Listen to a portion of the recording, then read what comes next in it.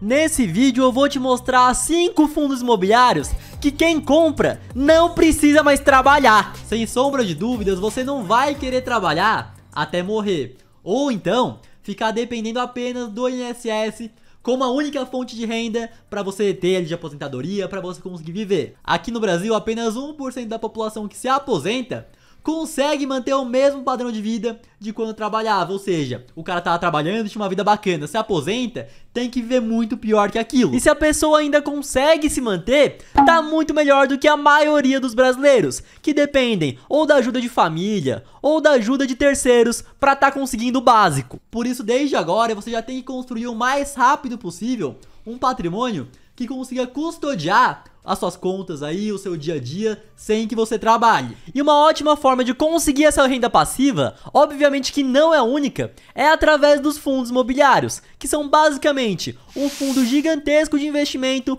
que ou tem imóveis ou tem dívidas no setor imobiliário no seu portfólio. Comprando uma cota, você vira dono de um pedacinho desse fundo e vai receber ou os aluguéis dos imóveis que estão alugados ou vai receber os juros desses títulos de dívidas. E praticamente todos os grandes fundos pagam o famoso dividendo, que é o que você recebe, mensalmente. Começando pelo XPML11 é um fundo imobiliário de shopping. Tem até vídeo aqui no canal, né, Renan? Uhum. Que nós fomos visitar um dos shoppings que faz parte desse fundo. Então, descendo um pouco aqui, vocês podem ver que os imóveis são bem diversificados. E 16 ativos em 7 estados diferentes aqui do Brasil. E aqui dá pra ver os imóveis. Então tem aqui, ó, Shopping Bela Vista, Shopping Cidade Jardim, que foi o que tá ali no vídeo, Catarina Outlet, né, já foi comprar lá também e vocês podem ver a metragem onde se encontra cada um dos imóveis. Lembrando que nenhum desses fundos imobiliários aqui é recomendação de investimentos. E muita gente comenta, nossa, mas o shopping, como é que vai ficar daqui pra frente com o e-commerce? O e-commerce tá crescendo, muita gente compra online, porém, a experiência, né, Renan? Uhum. De ir ao shopping, almoçar em algum restaurante, ver as lojas, não vai deixar de existir. Talvez realmente a dinâmica mude, mas os shoppings não vão deixar de existir. Tanto que agora tá tendo um monte de serviços nos shoppings, então tem estética, tem negócio de depilação a laser, tem barbearia. A experiência de ir no shopping nunca vai acabar. Vocês podem ver, com R$ 99,62 já consegue comprar uma cota aí do XPML é, no último mês. Paga um rendimento de 80 centavos, o que representa um dividend yield de 0,80%. Eu considero um bom fundo imobiliário, mas um ponto a se atentar é o PVP, que é o preço da cota em relação ao valor patrimonial do fundo, quanto ele tem ali de imóveis. O que acontece agora? Ele está um pouco, pouquinho acima do valor justo. Atualmente ele está em 1,01. Se ele estivesse em 1 cravado, a cada um real que você compra desse fundo, você está recebendo um real dos imóveis que ele tem. Quando ele está abaixo, a cada real, por exemplo, se ele tivesse 0,5, a cada real investido, você estaria recebendo dois reais em imóvel. E se ele estivesse muito acima de 1, a cada real que você investe em cotas, você está recebendo menos ali no valor dos imóveis. Lembrando que para fundos de tijolo é mais difícil você ter uma precisão grande de quanto valem os imóveis. Então depende é, de quem fez aí essa avaliação, depende também, por exemplo, ah, fizeram essa cotação de quanto valem os imóveis é, 9, 10 meses atrás e hoje já não é a mesma coisa. Então, por exemplo, o patrimônio líquido do fundo, quanto vale os imóveis que ele tem, no caso aqui tá 2.1 bilhões, mas pode ser um pouco mais quanto um pouco menos. Nos fundos de papel, por serem dívidas, é muito mais fácil ter uma precisão de ver quanto que elas valem, vale exatamente aquilo, então o PVP é mais preciso. Mas aí o camarada pode olhar e pensar o seguinte, não, esse fundo aí tá praticamente no valor justo, só vou comprar fundo imobiliário a um valor descontado. E é aquilo, você também deve procurar oportunidades, comprar fundos imobiliários a um valor descontado, mas eles normalmente vão estar com um desempenho pior, por isso que eles estão descontados. Ou o setor também pode estar sofrendo bastante. E lá no começo do vídeo eu comentei que você tem que construir um patrimônio para conseguir bancar as suas contas. Aí muita gente pode perguntar, qualquer coisa, Renan, para esse patrimônio serve? E é o seguinte, patrimônio acaba abrangendo muita coisa. Então pode ser tanto como um ativo e também um passivo. Ativos são investimentos, são coisas que você compra e coloca um dinheiro no seu bolso. Já os passivos tiram. Então vamos lá, o camarada comprou uma moto. Para quê? Para dar um rolezinho no final de semana, para se locomover. Mãe. Por que tanta violência, rapaz? Não é para ser o randandan ali na rua. É, não é para fazer entrega, não é para ser motoboy, porque aí sim poderia ser um ativo. E durante toda a vida o cara só vai direto nos passivos. Então primeiro é a moto, aí depois o cara quer mais privacidade, para curtir no final de semana com a gata compra o carro. Mas por que precisa de mais privacidade pra se locomover? Ah, é só lembrar do Thiago Finch ali na Ferrari dele. Ah, mas aí precisava também colocar um insufilme, é. né? Que aí o cara também tá de Ferrari e não coloca um insufilme ali pra todo mundo ver lá dentro. Aí beleza, né? Aí depois o carro, o cara quer o jet ski. E durante toda a vida. Ah, mas pra que o jet ski? Pra engatar no carro? É, engata ali atrás do carro e vai curtir a baixada, enfim, durante toda a vida. O cara só comprou passivos e não comprou nenhum ativo. Não que você não possa comprar os seus passivos mas principalmente no começo da vida, é importante dar uma focada ali em ter os ativos para construir essa renda passiva. Então você foi lá e comprou uma cota apenas de fundo imobiliário. Pelo resto da sua vida, você vai receber os dividendos. Algumas pessoas perguntam: "Ah, tem que comprar todo mês para continuar recebendo?" Não, é a mesma coisa. Você comprou uma casa para colocar para alugar. Todo mês você tem que comprar uma casa nova para continuar recebendo seu aluguel. Acabei de comprar sua casa aqui, querida. Minha casa e minhas roupas, minhas coisas. Passa nesse cartão aqui. É, mas é aquilo, você comprou uma cota por mês, você vai receber um dividendo apenas. Se você compra mais cotas, mais dividendos você recebe. Fora que nos fundos de tijolo, o que acontece no longo prazo? Todo mundo já conhece a inflação, cada dia que passa. O seu dinheiro tem um poder de compra menor e por conta disso, os imóveis tendem a se valorizar, imóveis físicos, no longo prazo. A cota do seu fundo vai se valorizar. Outra coisa que acontece também, os contratos de aluguel desse fundo ou estão sendo reajustados pelo IPCA ou também pelo CDI e o que vai acontecer no longo prazo, esse fundo vai ter um resultado melhor, vai conseguir arrecadar mais dinheiro e vai distribuir mais dinheiro para os cotistas. É, o dividendo vai aumentar. Mas lembrando, não deixa de ser renda variável, então o preço da cota sobe e desce de acordo com a demanda compradora e vendedora. Se tem mais gente querendo comprar do que vender, sobe. Se tiver mais gente querendo vender do que comprar, desce. Tanto que vocês podem ver o que acontece aqui no gráfico. Mas o que você recebe em dividendos não está diretamente relacionado com o preço da cota, e sim com o resultado do fundo. Próximo fundo imobiliário, HGLG11. É um fundo de galpões logísticos. Então eu sei que você curte fazer uma compra online compra na Magalu, compra na Americanas, compra no Mercado Livre. E possivelmente essa compra que você está fazendo vem de um galpão logístico, pode ser até né, do HGLG11. É, a, a, compra não, o produto. É, né? o produto. e é quando você compra nessas lojas aí, Shein, Shopee, AliExpress, vem de fora do Brasil, não vem do galpão logístico não. E segundo muitos analistas, o HGLG11 é um dos melhores fundos imobiliários da bolsa. Então tem um ótimo portfólio, vocês podem ver aqui, 17 ativos em 5 estados. Sempre pagou dividendos com regularidade, vocês podem ver aqui. E um ponto interessante. Nossa, porque de um mês pro outro ele vai lá, dá uma estourada de dividendo aqui, ó. Tava pagando é, 78 centavos e depois 2,63. Esses galpões estão alugados.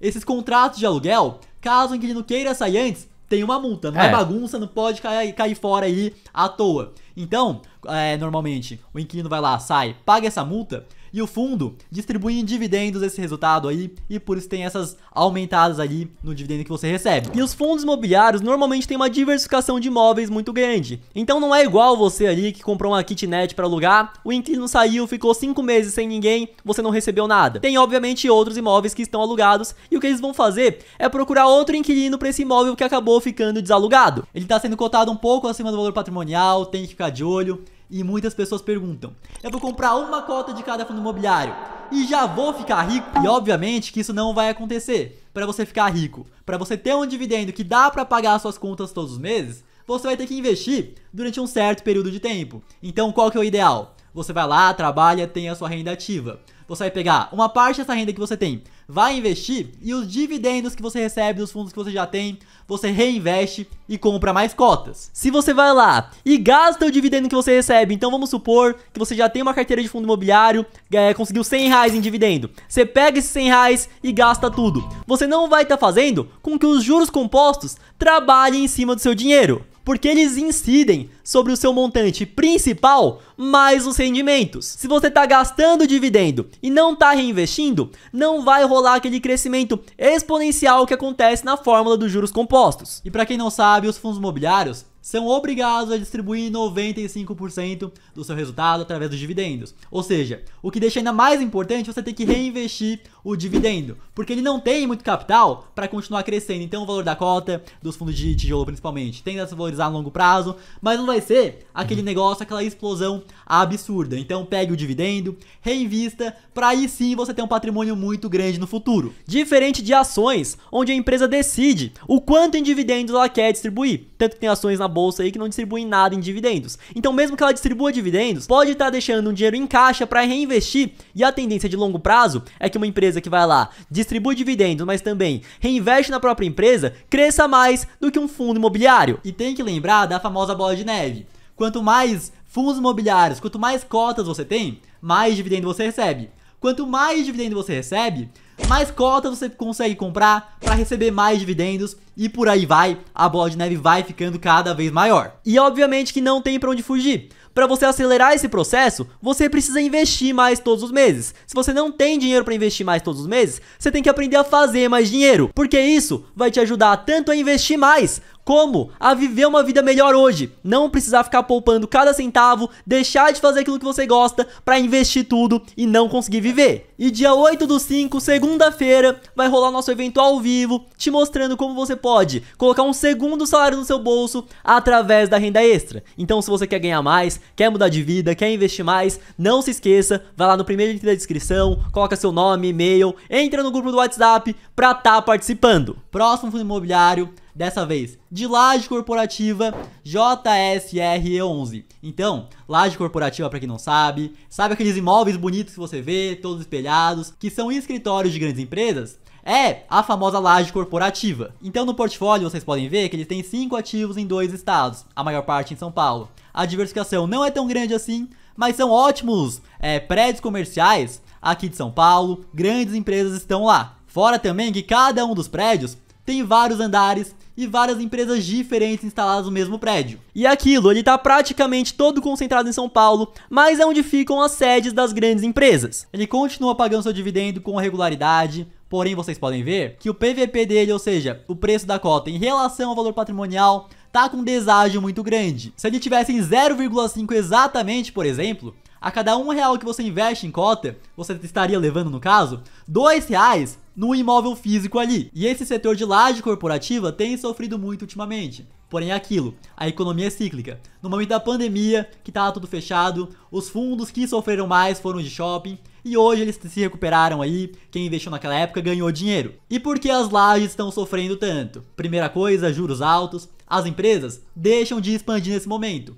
Fora também que muito se especula que várias empresas estão adotando mais tempo de home office das pessoas trabalhando de casa, mas o escritório, a sede das empresas, mesmo com tudo isso, nunca vai deixar de existir. E mesmo com todo esse cenário, eu acredito que essa desvalorização, o PVP está em 0,59, é algo que está demais comparado à situação atual. Tanto que nós temos ele na nossa carteira lá de fundos imobiliários. Eu também. E não pretendemos vender. Eu vejo como oportunidade tanto o JSR11 como outros fundos de laje corporativa, porém aquilo, não é porque eu sair comprar agora que ele vai dar um estalo e vai começar a subir. Então, pro médio, é, talvez longo prazo aí, quando o juro estiver mais baixo, eu vejo ele subindo, mas não saia comprando pensando tá barato, vai valorizado nada, porque senão vai acontecer, vai levar um tempo. Lembrando que eu compartilho apenas a minha visão, não é recomendação de investimento, não é para você sair comprando nada e nem vendendo também. Partindo agora para os fundos de papel, lembrando que a dinâmica deles não é igual a um fundo de tijolo que tem imóveis no portfólio.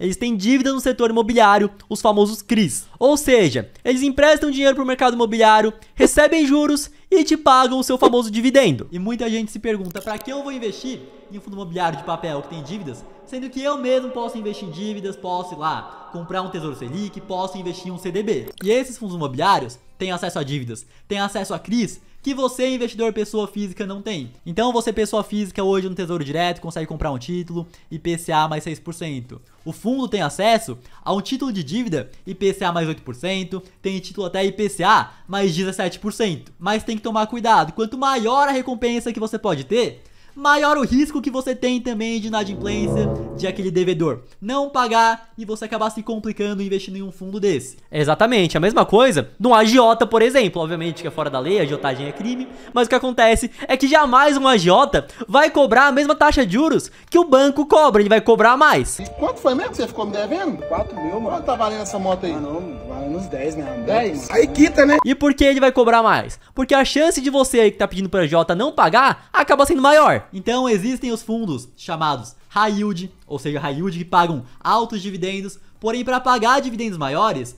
o risco da dívida que eles possuem ali no portfólio acaba sendo maior também. E foi isso que aconteceu com o HCTR11, o DEVA 11, todo mundo que estava investindo estava felizão recebendo altos dividendos, porém as dívidas eram mais arriscadas. Eles tiveram problemas para estar tá recebendo esse dinheiro e os fundos acabaram sofrendo bastante recentemente. Tem os FIIs também high grade, ou seja, eles pagam menos dividendos, porém possuem dívidas menos arriscadas. Temos aqui esse fundo imobiliário, KNCR11, fundo de papel, ele está custando hoje R$ 96,91 e no último mês ele distribuiu 1,27% em dividendos. O PVP dele está um pouco abaixo de 1, 0,96 e praticamente todas as dívidas dele estão atreladas ao CDI. Tanto que vocês podem ver aqui, ó, o dividendo que você recebe acompanha o CDI e acompanha a taxa de juros. Quando o CDI está alto, o dividendo sobe. Quando o CDI está baixo, de juros está caindo, o seu dividendo desce. E agora, no caso, juros altos, vocês podem ver que o dividendo subiu também. Lembrando que o KNCR é um fundo imobiliário que no portfólio não possui dívidas muito arriscadas. Próximo fundo, muita gente gosta dele, famoso MXRF11.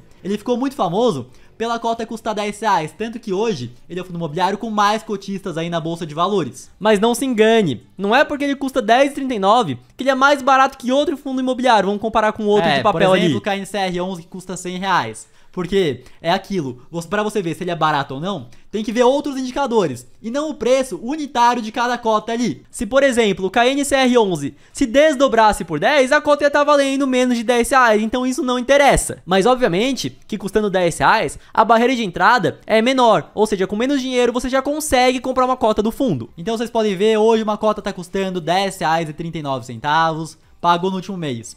12 centavos de dividendo, que representa um dividend yield de 1,17%. O PVP dele tá em 1,03. E normalmente, por ser um fundo bastante famoso, muita gente conhece, muita gente quer comprar, é difícil ver o PVP dele abaixo de 1. Ele tem um portfólio bastante diversificado e seguro, tanto dívidas atreladas ao CDI quanto ao IPCA. Então, tanto o MXRF11 quanto outros fundos de papel não vão te entregar um retorno de valorização da cota muito grande, porque o que acontece? Eles possuem dívidas ali no seu portfólio. E dívidas não tendem a se valorizar no longo prazo, assim como os imóveis. Então você recebe sim, né, Renan, no caso, uhum. um dividendo maior, porém você não tem esse upside aí, essa possibilidade de subir no valor da cota. Igual um fundo de tijolo, por exemplo. Por isso, que no caso do fundo de papel, é ainda mais importante você reinvestir o dividendo. Tanto agora que você está construindo o seu patrimônio e também no momento que você for viver de renda. Você tem que reinvestir uma parte para estar tá corrigindo o seu dinheiro com a inflação. Porque no fundo imobiliário de tijolo, a inflação vai vir na valorização da sua cota. No caso de papel,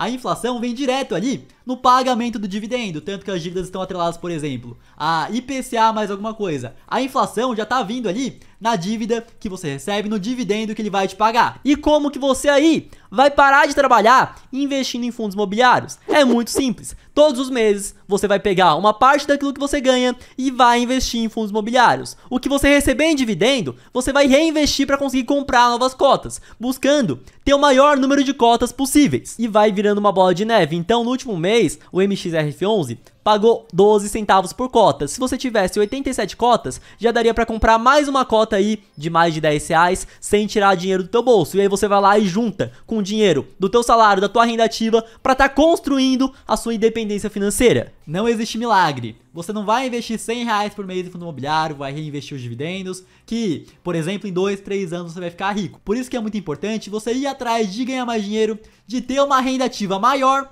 para conseguir investir em comprar mais cotas e ter uma vida melhor hoje. Por isso não esquece, se inscreve no nosso evento que vai rolar dia 8 agora e até o próximo vídeo.